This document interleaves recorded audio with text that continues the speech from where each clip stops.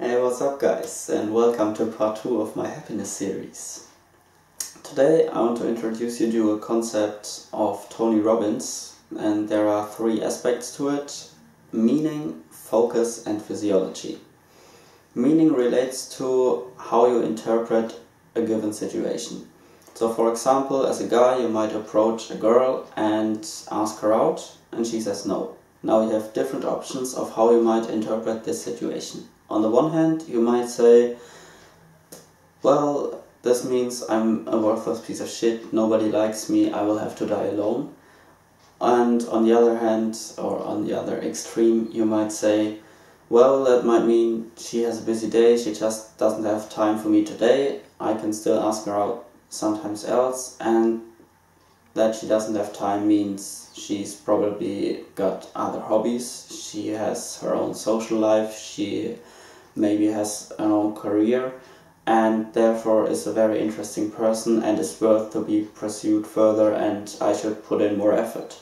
Now, same situation, same stimulus if you remember the last video and totally different reaction to it. On the one hand, you might get depressed, sad and hopeless and on the other hand, you might get excited and happy. The second aspect, focus, means what do you concentrate on in any given situation. For example, a couple of weeks ago I went to Turkey and when I wanted to fly back, the plane was delayed by about one hour.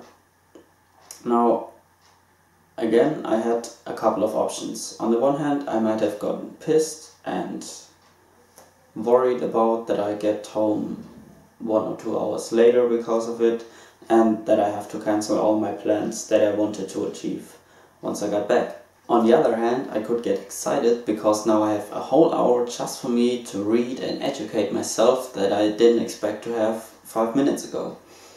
And also, I could appreciate the fact that we do have planes and that I'm able to get from Turkey to Germany within two and a half hours or so instead of in six months if I survived the journey at all, like it was about two or three hundred years ago. The third aspect, physiology, relates to how do you use your body language, how do you use your facial expressions. And actually there's quite a big amount of research on this. For example, Strack et al. did a study already in 1988 that's pretty interesting, I think. All they did was give their participants a pen and put it between their teeth. One condition was like this, and one condition like this.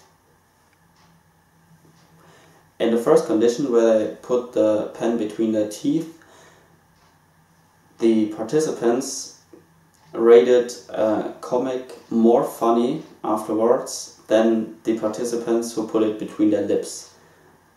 So the facial expressions create the feeling of happiness or sadness without any other stimulus from outside.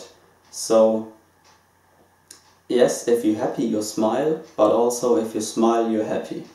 Regarding body language, I've put the TED talk of Amy Cuddy in the description below, in which she talks about power posing High power poses in comparison to low power poses actually are able to increase your testosterone and reduce your cortisol, which is a stress hormone, and make you more self-confident and increase your ability to take risks. Now, be well aware that none of these aspects solve your problem directly. However, if you can't change the situation, you can be happy anyway. So for example, when I was on the plane, there was nothing I could do to get me back to Germany faster. However, I was able to be happy in the situation, although something didn't go as planned. On the other hand, if you are able to change the situation or to do something about your problem, I believe you will come up with better solutions and are more creative in finding a solution when we are in a good mood versus when we are in a bad mood. So, as Zig Ziglar said, positive thinking won't let you do anything, however, it lets you do everything better than negative thinking. So how do we use all this? In my opinion, the first step is awareness. If you are unaware of what you focus on, what meaning you attach to any situation and how you keep your body, none of this is helpful in any way. So the first step you want to do is raise your awareness. For that, anytime you think of it, ask yourself, how do I feel right now? What happened just a moment ago and why did it make me feel that way?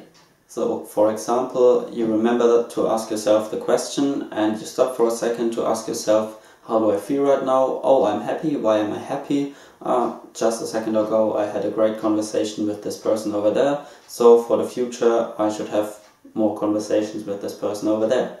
My second tip is practice power posing and smiling in front of a mirror. You might be surprised how it changes your interactions with other people, your self confidence in general, and your performance at work or in sports. My third idea for you is this whenever any kind of problem comes up, say to yourself, something good will come out of it. And ask yourself, how can I use this? How can I change it? How can I improve it? And then do it. Alright guys, that's it for today. I hope you liked the video and if you have any kind of questions or feedback, let me know in the comments. I'm looking forward to the next video. Have a nice day.